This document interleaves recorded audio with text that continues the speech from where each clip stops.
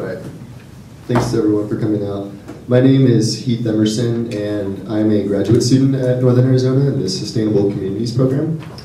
And like Montana, I'm also from Southern California, and uh, the Grand Canyon does have a special place in, in my heart. Um, I have vivid memories uh, going there just, just once in my childhood, and uh, I, I, felt the spirituality in, in, that place, and I, I learned about uranium mining uh, just recently, actually, uh, in the canyon, and um, the, the whole situation uh, around this is just very um, startling and frightening to me. Um, so the, the uranium in question from the Canyon mine, uh, there's a lot of possibilities with that, what that uranium could uh, be used for, and, and one is you know nuclear energy.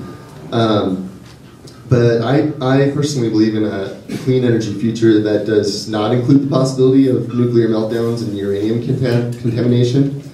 Um, I was also, I was born after 1986 too. I was born in 1990. I'm 23 years old now. Um, since then, the world has had over 40 wars, which a lot of them have had, had to do with uh, conflict over resources.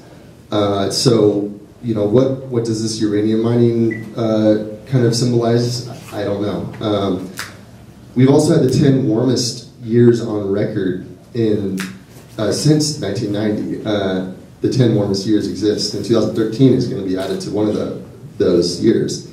You know, the internet's changed the world too. Uh, we, we don't exist in seclusion, so what we do here in the Southwest has global implications. Um, so since 1990, many things have happened, but there hasn't been an environmental impact statement study since 1986 in the Canyon Mine. So I, I can't be rest assured, neither should the public that this mine is safe when there hasn't been a study in almost 30 years.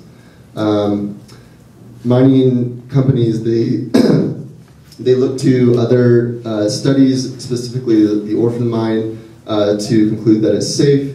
And when you look at that study, actually, there has been groundwater and soil contamination. So that is frightening uh, that they say that it's safe because of that.